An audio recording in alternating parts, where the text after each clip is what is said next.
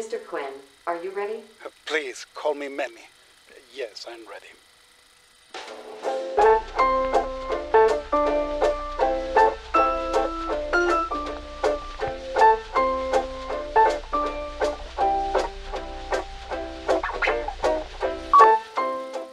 Hi, this is Victor Perez. I wanted to share with you this experience that I have uh, creating the third person, which is a short film I directed and I created. I mean, I did everything.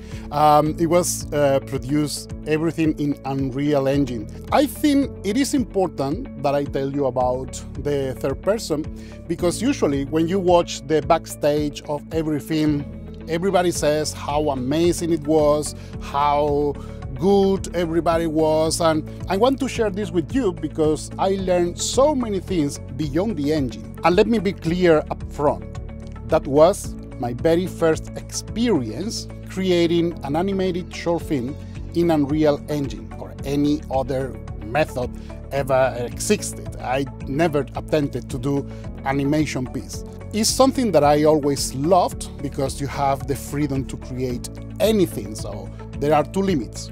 One is the most important, which is your imagination. The other limit is the software and the hardware. So I want to mix everything just to tell you my experience working in this particular short film. Well, in 2022, I was so lucky to participate in the Unreal Fellowship, which is an amazing intensive course that Epic Games just create to make people aware of Unreal Engine capabilities. And this one was special because it was focused on storytelling. In there, I met a lot of people and people coming from many different backgrounds. And I have to admit that I was even intimidated because everybody in there was super skilled in many, many different aspects. So when I started working on the Unreal Fellowship, the first thing that I noticed was that the rhythm of the class was really, really intense. I think I never understood properly the word intensive course until I started doing the Unreal uh, Fellowship. It was something like eight, nine hours of lectures and practicing and exercising and tutoring and it was really a lot from the morning to the evening and it was like a worldwide experience. The intensive part got really difficult when you need to find time to create your piece because that is one of the requisites of the course that by the end of the course you must create a piece of animation. It was like three minutes. So in the beginning, when they explained to you, I was like, yeah, very confident. Yeah, of course, three minutes. It's only three minutes. you know, everybody can do three minutes. I was very wrong. Well, actually, I wasn't. But in the sense that I was thinking. So I was thinking to create something completely beyond my possibilities. I was just hoping just to get uh, all the information that I need to become the best Unreal Engine artist ever existed in the world in five weeks. But in the experience, I was actually learning, and the more I learn, the more I understand that I need to exercise more and practice more, while other, other people was having th their own experience at the service of the short film. In my case, the 2D side wasn't of much help even my storytelling, I, I was a bit frustrated in the beginning because I didn't know how to put my knowledge together in order to tell a story. So I was so focused on the technology that I forgot the most important part, which is why we are here, why we decide to have this job. I forgot to have fun. It is really amazing how sometimes the sense of survival that we have as an artist is what is going to rescue us. That is why I believe a deadline is actually the healthiest thing that an artist can have. My tutor, Erica, she was amazing because she was trying to guide me into, you know, less is more, try to focus on the important part, try to focus on the story. And I was so focused on the technology, the how to do crazy things, things that have been never done before or attempted. Until one day, this happens. I just realized that everybody was just trying to get their own background into their short film, and I was just trying to strive for perfection. Perfection is something that sometimes can help, but sometimes can just block you because you want to create a piece that is perfect, that is what they what you meant as an artist to be. And you just want that idea that is in your head perfectly transferred into the screen. And that is, you know, is omitting the most important part, which is the input that you are getting when you are working. So instead of working against the machine, you actually work with the machine. You embrace your limitations and then you use your limitations. That is what happens, I believe. Pixar, in the beginning, I guess, like in the 90s, we have the problem that all the renders that we, I mean, that they created, because that was in the very, very, very early days, even in the 80s. In the beginning, renders were looking like plastic. So, in that time, you have two ways. You can just keep researching and try to get skin, something that looked like skin, or you can just play along, and if everything looks like plastic, you can create a story with plastic. And what if you do both at the same time? So that is why I believe Pixar and ILM and all the you know amazing artists and technicians, engineers that that are working constantly to strive for perfection. That is why I admire them. But if we don't put the context of the storytelling we are always going to be chasing for perfection as a child is chasing the rainbow. So you will never get it because perfection doesn't exist. That's why I consider the third person a failure success story.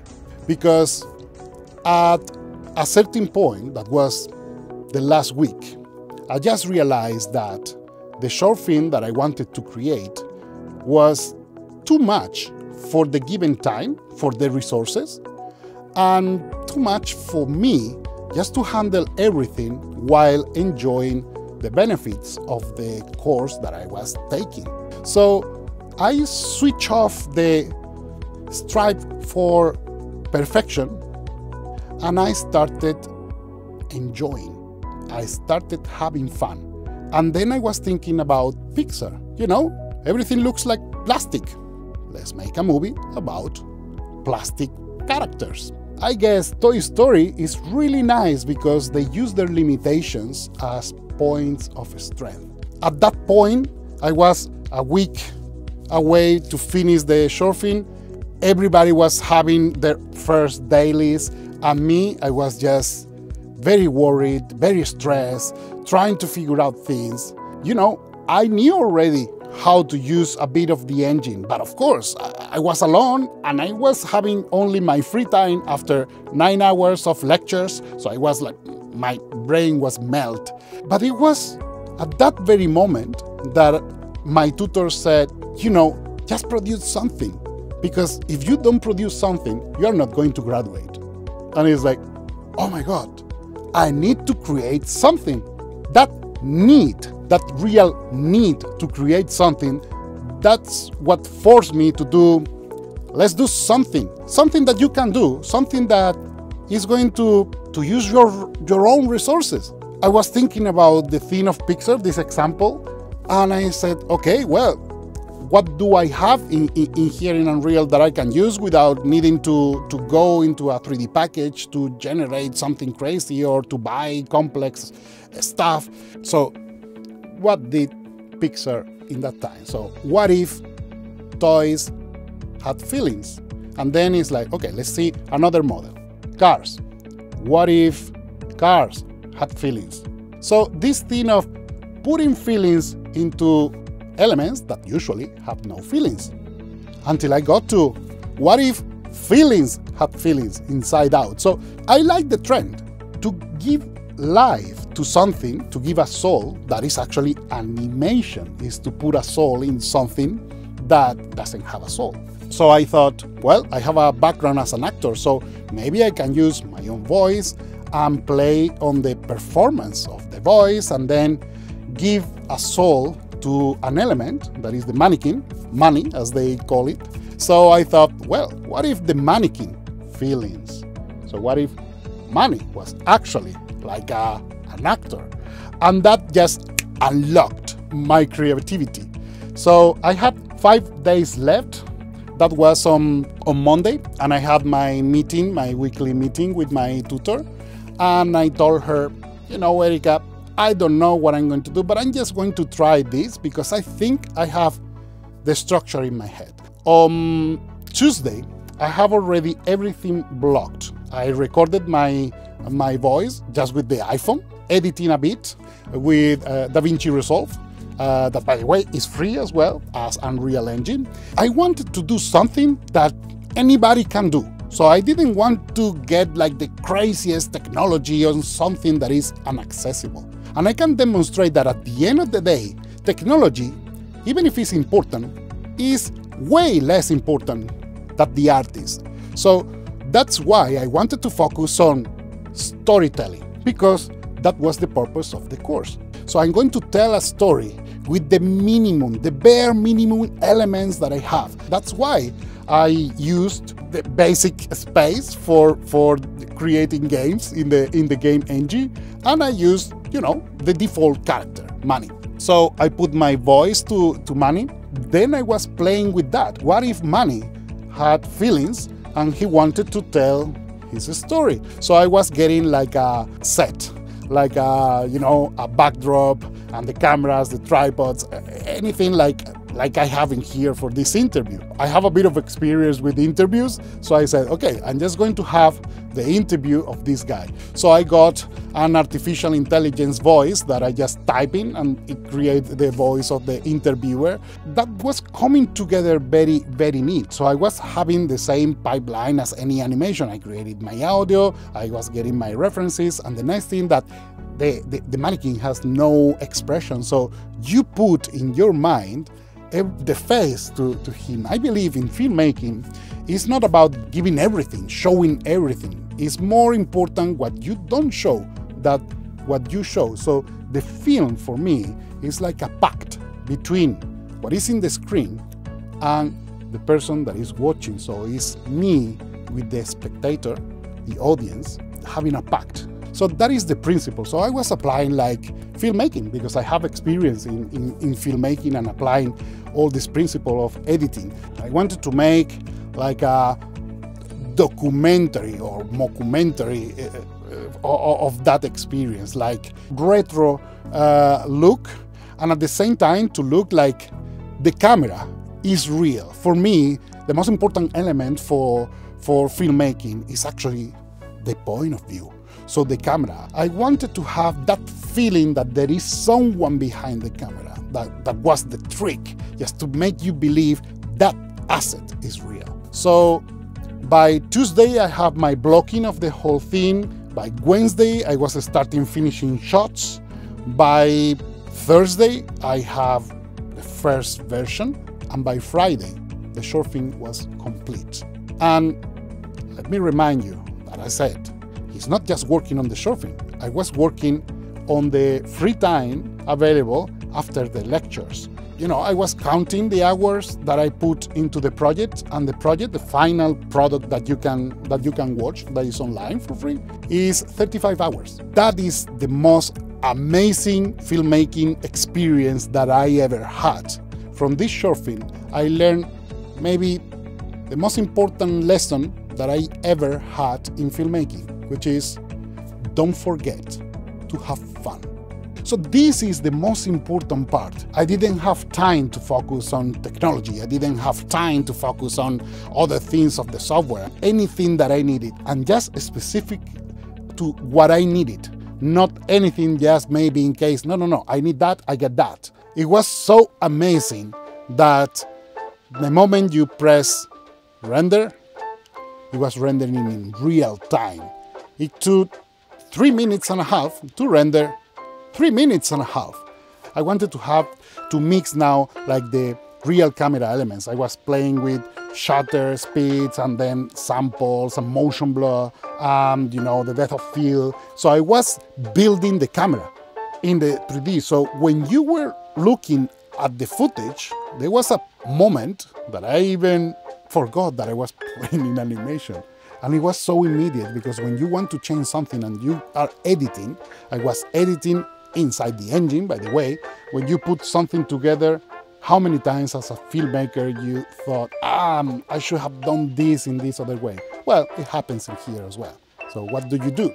Well, you do it in the other way because you can do it. You can always go back.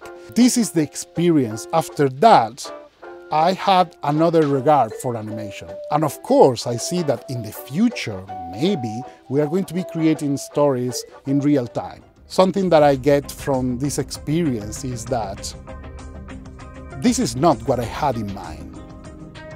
It's just much better because I was listening to the piece. So instead of being a dictator of my own story, I was telling the story while I was creating. So I was editing in Unreal and telling the story in Unreal while the story was being told by itself. That experience that needed four weeks of struggling to get one great week of final results, that is maybe the most important lesson that I learned from that Unreal Fellowship. If you are telling a story, never forget that the most important element is always the story. In my case also I was very lucky because I was using a very good computer. So the computer was uh, an Asus ProArt. It has like a amazing NVIDIA graphics card. So that's practically all you need to create something like a pro. Even if you have like a setup of video games, you know, Unreal Engine is based on game engine. So the video game computers are actually fit for the job. I prefer the ProArt because they are made also for a, wider task that I'm going to need. And don't forget that I need precision. So that is the that, that is why the ProArt environment is going to offer like monitors and any other element of hardware. When I was working on the piece, I never thought about the hardware. So I thought about the hardware once when I put it on the desk. For the rest, I just don't have time to care about hardware. I just want the machine to work. We don't care about machines until they break. Well, for me, I just press the start button. That's all I need.